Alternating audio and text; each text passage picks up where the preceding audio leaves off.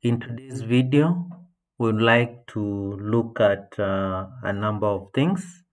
One of them is the standardized mortality rate, crude mortality rate, direct standardized mortality rate, and indirect standardized mortality rate. We have the standard population of a country and one of its cities we have been given the population and the deaths for the different age groups and the total. So the first thing we want to calculate the standard mortality rate. That's the first part that we would want to look at uh, in the video today. So how do we get the standard mortality rate? What would also call the SMR. This is basically given by the observed death observed divided by expected. So the question now that comes up is how do we get the expected given the information that we have? What we do is we are going to get what we call age specific. Age specific death. Age specific specific death. And this is comparing the city population with the standard population.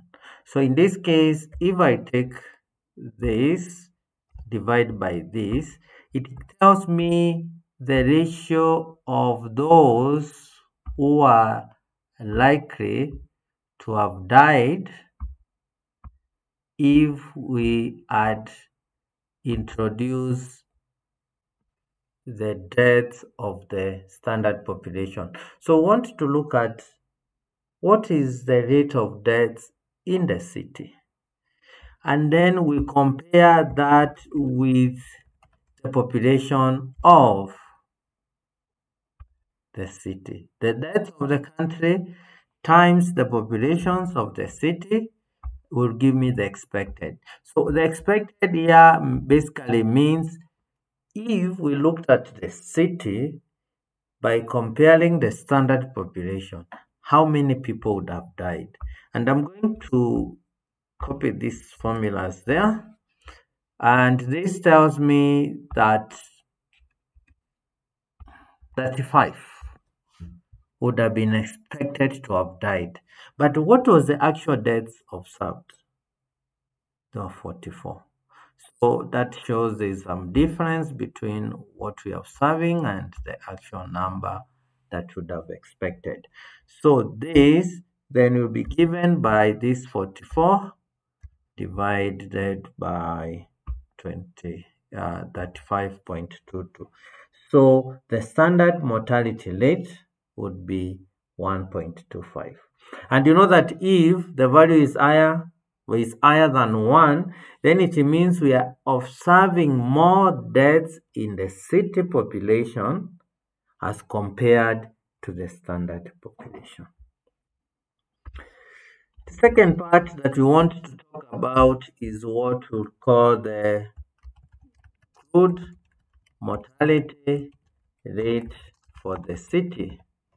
The crude mortality rate for the city, and uh, that one will be given by the observed in the city which is given by 44 divided by the population of the city. So that gives us the number of the observed.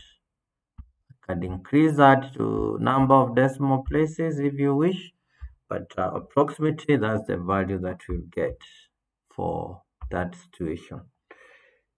The third one is the crude mortality for the country.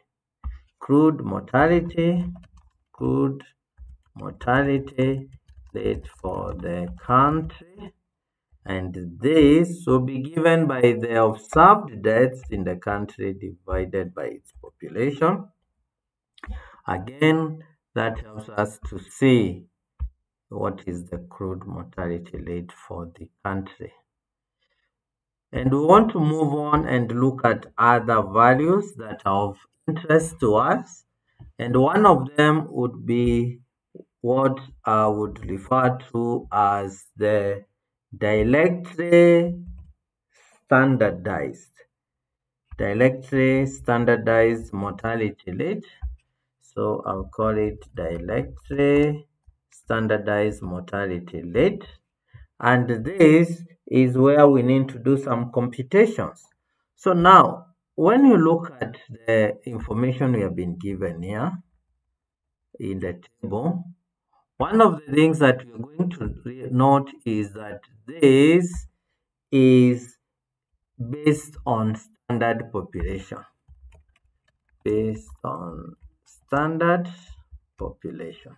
So the information we need is we need to get age specific death rate for the city. Age specific death rate for the city so that's what you're going to get and so I'll say uh, age specific death into bracket city and uh, that information is different from the information we got here. Age specific death for the country we said it was 10 divided by 50 5500 this one will be equals to 7 divided by 2000 and we're going to do that for all the four different age groups that we have been given and that's the information that we have. So now we are going to multiply this. We multiply it with reference to the standard population. And we're going to get some specific value. So we take that 500 that is I4 times C4 and then we sum them up and we'll end up getting a total value which is 108.25. So direct standardized mortality will be given by 108 divided by the population of the country and that will give us uh, the direct standardized mortality rate. Now, sometimes in this case, assuming that you are not given this column, you are not given the information that I've highlighted in a different color, then you could not compute the direct standardized mortality rate. So what you do is you have to compute the indirect standardized mortality rate. But even if you are given that information, you can still compute the indirect standardized mortality rate. And how will you do it? You are going to use the age-specific death rates for the country given here. And we are going to multiply them this this set of information we are going to use this and you're going to multiply that with the city information. So if i do that and then i copy this i'll end up getting a set of information and i get that 5.22 which is this one here anyway. And so we use that to be able to come up with indirect standardized and the dielectric standardized is given by crude mortality rate given by SMR. We have the crude mortality rate, yes, and we can now get all the values. So it will be equals to this times 44 divided by 32 35.22 so that will give me the direct standardized mortality rate